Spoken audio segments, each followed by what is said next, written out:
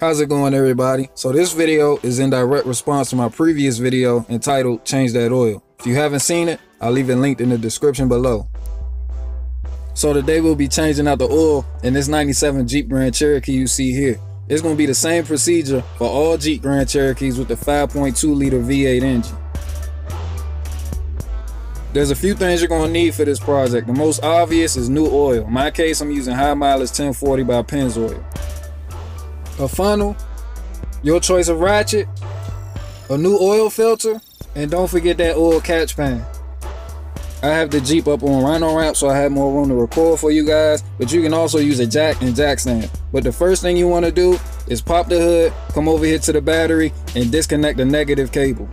Now I'm going to show you why that's necessary for this particular vehicle in a minute. So let's slide up under here, see what we got going on. Drain plug is right here. In my case, I'm using a 5-8 socket to remove it. Just gotta crank that bad boy counterclockwise. I don't know about you guys, but it's something soothing about watching oil just drain out. But anyway, now's a good time to clean the drain plug with some brake parts cleaner. And it's also recommending you change this washer out as well. Alright, so while that finishes dripping out, let's go up here and wrestle with this oil filter. And you'll notice that its location is right above the starter, which means as you unscrew the oil filter, the oil is to leak on the starter, which is why I like to disconnect the battery. Now let's see if this oil filter to give me a hard time, man. Up, up, nope, no it didn't. I use brute strength. That's because I'm amazing. Just to turn it slowly so I don't take a complete oil shower. If you're scared to get dirty, this ain't the job for you. Pulls out right in between the control arm and exhaust pipe. Pro tip, make sure the oil filter gasket is not stuck to the housing. If it is, and you go to put the new oil filter on, it'll cause a leak. So make sure the old oil filter still has the gasket on it when you take it out.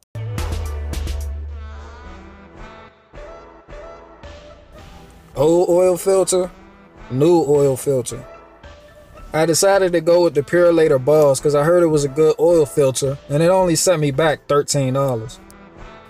You want to pour a little of the new oil in the filter so the engine doesn't start up dry and also spread some around the rubber gasket to create a better sealing surface. The installation is reverse of removal. Then make sure you clean the housing area. Wipe that starter off good and make sure you clean that exhaust pipe. Put your drain plug back in and don't over tighten it.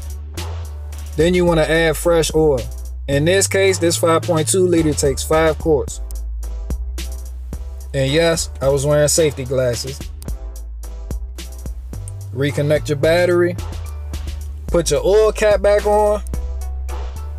And with that, you're finished. That's how easy it is to change your own oil. If you like this video, then consider checking out my YouTube channel, Barricade Garage. I have plenty other repair videos to help you out. If you need anything, hit me up with a comment, ask a question. I respond to everybody. And with that, I'll see you later.